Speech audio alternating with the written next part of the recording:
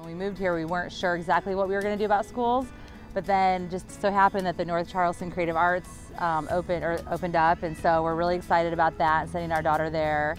Well, when we first moved here, uh, we, we didn't have a daughter yet, so um, that's all sort of come as we've been here. But when they started talking about this school becoming the um, Creative Arts Elementary School, we got pretty excited and we're definitely planning to enroll her in 2014.